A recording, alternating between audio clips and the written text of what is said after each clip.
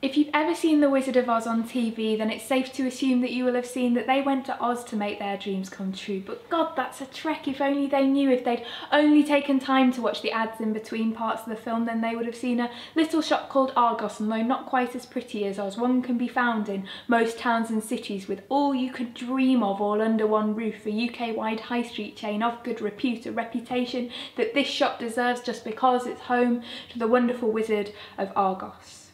But you needn't worry that the wizard of the film was just fiction. Our hero, he doesn't have that to restrict him. He lives all year round just under the desk, putting onto conveyor belts your every request. And are you wondering how the wizard spends his weekends?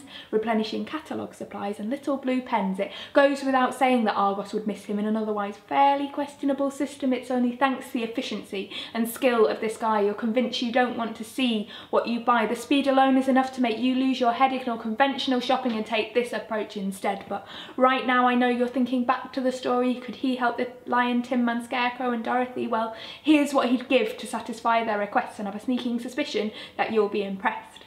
For the Scarecrow who's always wanted a brain who'd give a Nintendo DS-like brain training game. For the Tin Man who's always longed for a heart where he can woo tin ladies with a piece of modern art.